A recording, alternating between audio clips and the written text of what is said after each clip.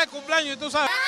Tanto control. Señores, hoy estamos aquí en Cerro Silvestre de Arraiján, donde a raíz de las lluvias, ey, quedó una luz. Bueno, la gente del MOB hoy han sacado tierra, pero adivina qué da igual la luna.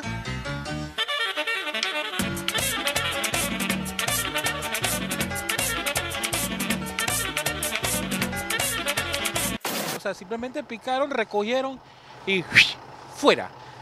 Y entonces, ¿y qué solución queda?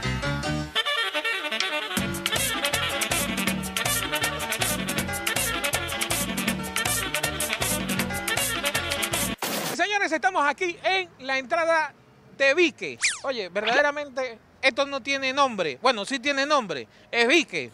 Y esto se llama irresponsabilidad del MOP.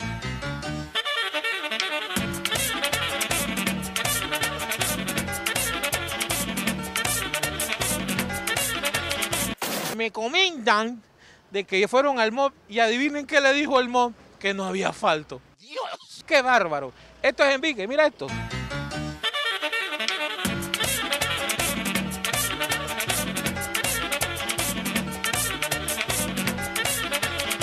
Y para que sepan, voy a hablar con la representante. Seis hojas después. Bueno, mi gente, estuvimos haciendo el recorrido en Vique y Cerro Silvestre. Al final quisimos contactar a nuestra hermana Dayanara Cáceres, pero nos dijeron que está enfermita, está un poco indispuesta.